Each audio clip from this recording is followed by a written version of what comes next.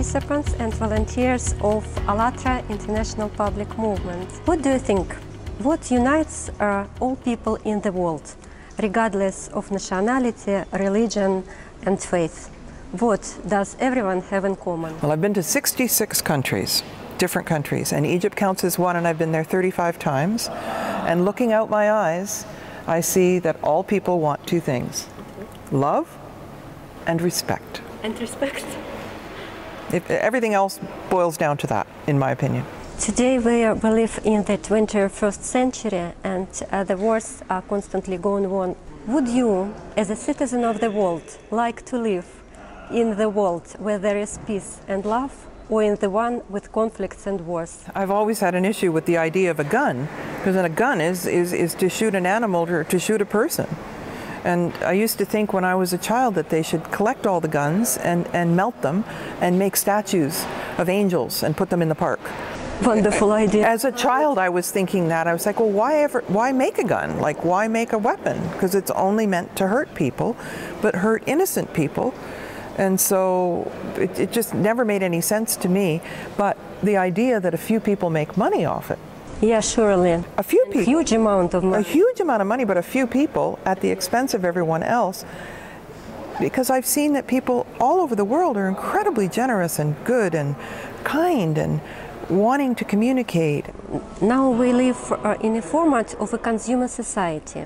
And we live in, this, in a society uh, dominated by enrichment of some and impoverishment of others.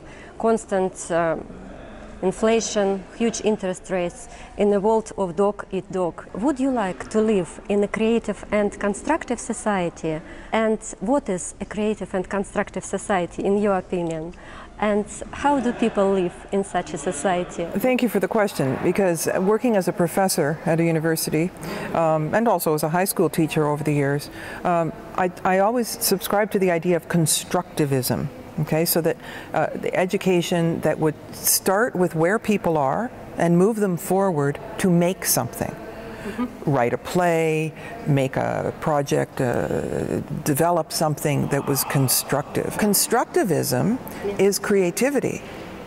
And so, you know, if you can sing, dance, be in a play, make a flower arrangement, sew, make something okay? And that's that's how we should live and that's what inspires us. Yeah. but the other thing is the blended um, different domains and uh, disciplines.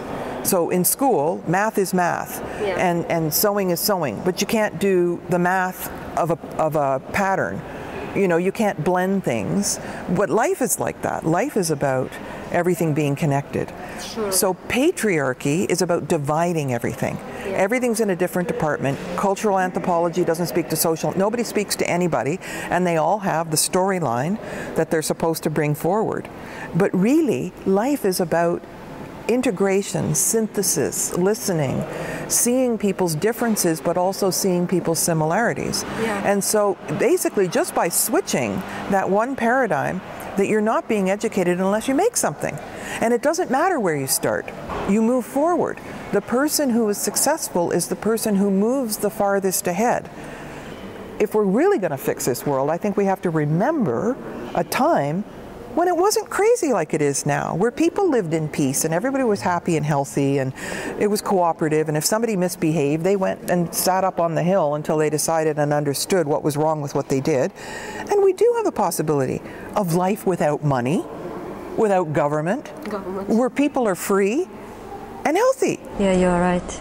And I like your idea that uh, uh, about their, all the spheres of education should be connected, closely connected. If you're teaching with constructivism, you need to know different learning styles, yep. auditory, visual, kinesthetic, multiple intelligences, musical intelligence, mathematical intelligence, you know, all these different things. And so I did a lot of research with my students, uh, studying what kind of characteristics each person had and tailor making the lessons in the computer through online learning for all these multiple intelligences and measuring the levels they had and then teaching them this way and measuring the levels after and they all went up. Now because most students in Asia are listening to a teacher reading from the book. I thought they would all be auditory. that their, their main learning was through their ears and, and that was all they'd have and they don't do sports so much you know they, they go to school they go to after school english classes but it wasn't true they all had a little bit of all the different multiple intelligences and when i gave them musical ways of learning or you know visual kinesthetic and different things and got them up doing plays all the levels went up because they were stimulated. They were inspired.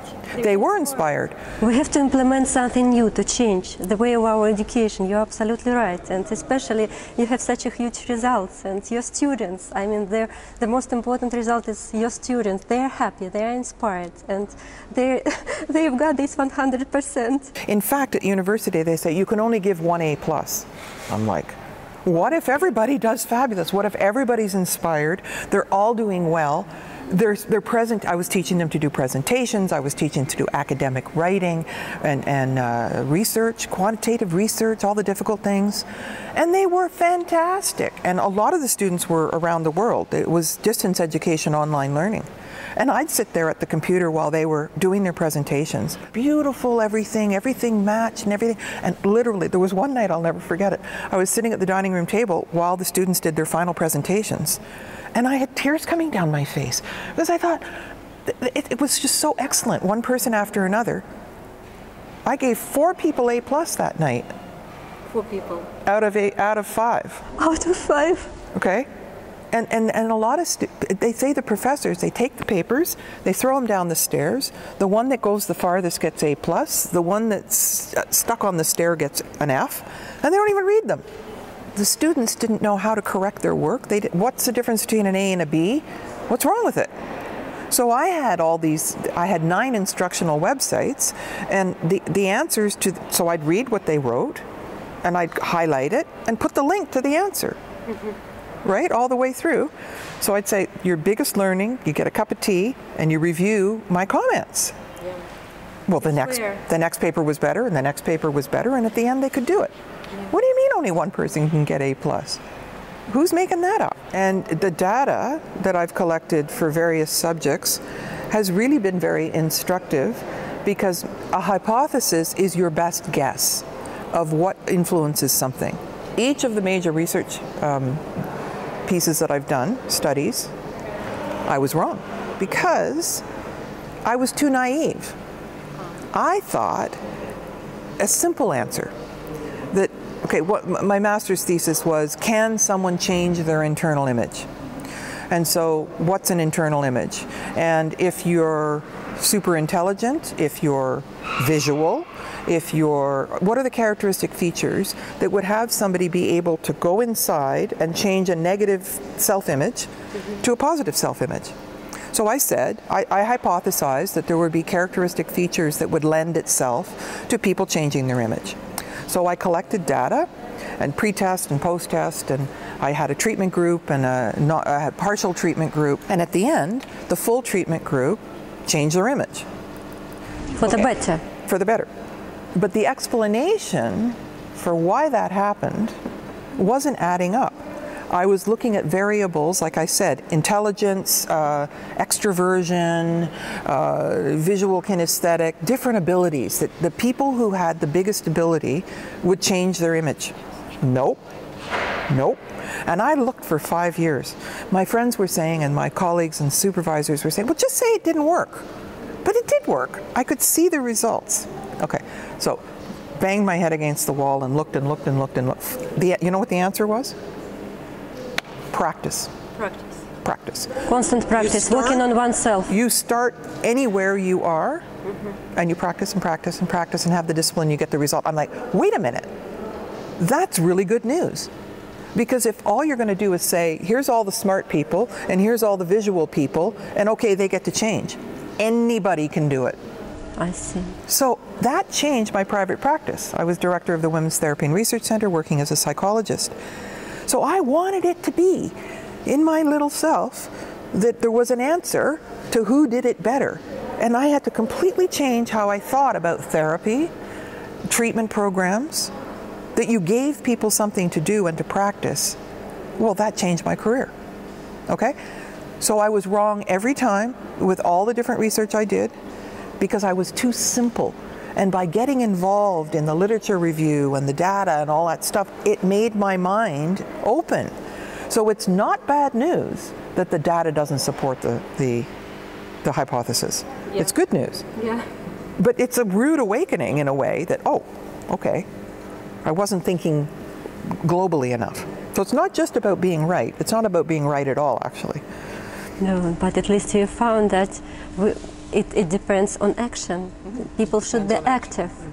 Well, and the buzz thing is a model for an empowered humanity. And all of these other things, if you don't do anything to try, it's disempowering. So you're presenting a model to be empowered. Yeah. And that's what my work is too a model for an empowered humanity. Nice to hear it. It should be this way. People should communicate this way. I mean, only this way and no other way. In such an atmosphere. Thanks so much. Thank you for your time. Thank you too. I appreciate it.